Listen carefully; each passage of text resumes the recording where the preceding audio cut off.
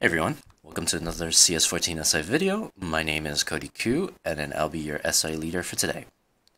In today's video, we'll be going over 234 trees deletion.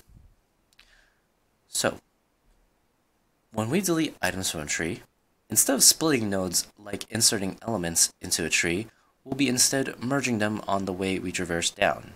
We'll see this into effect later. In 234 trees, there are around three different cases when it comes to dealing with them, some with subparts though.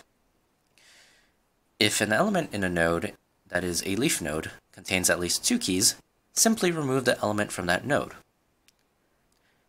If the element is in the internal node, we should do one of the following. If the element's left child has at least two keys, replace the element with the predecessor, then we delete that predecessor at the same time. If the element right child has at least two keys, replace the element with the successor, then we would delete that successor also.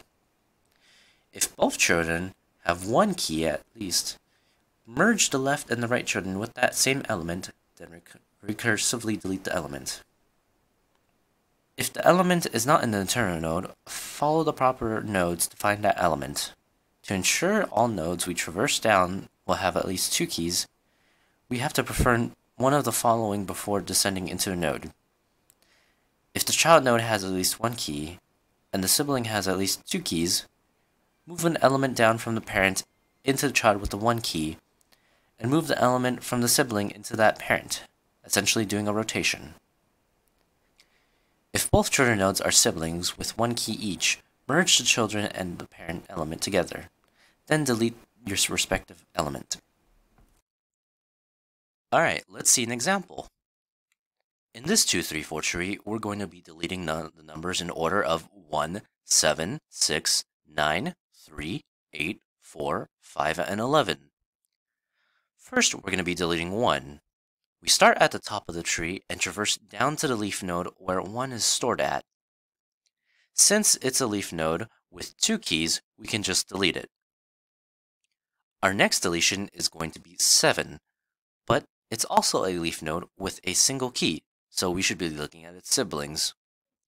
Since the siblings has two keys, we're going to have to do a rotate of 5 and 6. Then we can delete 7.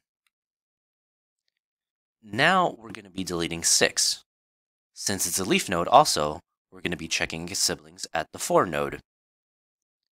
It has a single key, so we're going to do a merge with the parent. Then we are allowed to delete 6. Now we're going to be deleting 9. But before that, since we have the rule of merging down before we traverse, and since we start at the root 8, it already has a child, two children, both of one key. Because of that, we're going to be merging them before going further down.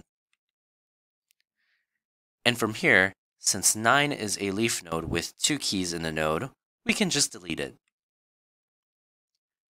Now we're going to be deleting 3.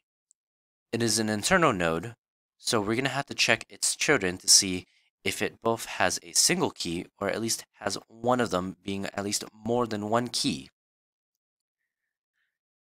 Since the node at 4, 5 is a 2 key, we can just copy the successor and then delete the successor afterwards. Now we're going to be deleting 8. 8 is also an internal node, and it has children that are single key nodes. Instead, we're going to be merging them together. Then we are allowed to delete 8. Now we're going to be deleting 4. It is an internal node, and it has a child with two keys inside of it. We copy the 5, which is the successor, and then delete the successor afterwards. Now we're going to be deleting 5. It is an internal node, and it has children with single keys, so we merge them. Then we are allowed to delete 5. Lastly, we're going to be deleting 11. It is an internal node, and since the left child has two keys, we can copy the predecessor and then delete the predecessor afterwards. thus completing all of our deletions.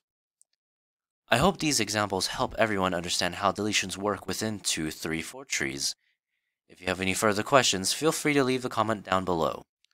Thank you so much. Have a nice day, everyone.